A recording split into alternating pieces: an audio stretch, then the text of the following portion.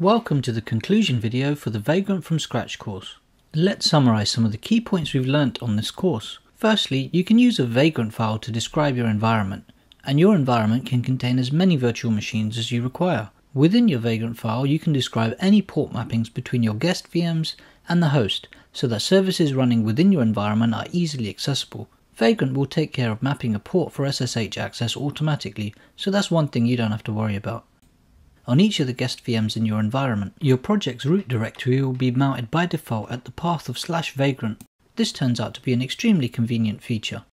If you require Windows VMs, those are also available, but it does require more work and you will have to make use of another tool produced by HashiCorp called Packer to produce the Windows boxes. Otherwise, Linux boxes are available to download for free from the public box catalog provided by HashiCorp. Although we covered a lot in the course, there's still a lot more you could investigate to become a true Vagrant expert.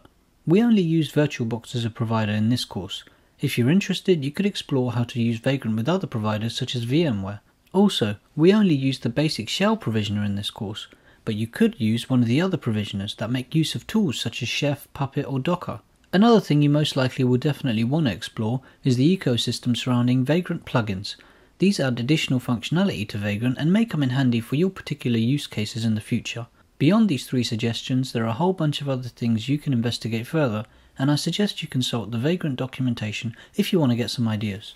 It's been a long journey and we've learned quite a lot along the way. Hopefully you're now proficient with Vagrant and understand how you can create your own completely customized virtual environments. It's been a pleasure teaching you this course. If you want to see more informative content, be sure to subscribe and check out some of the other videos available on my channel.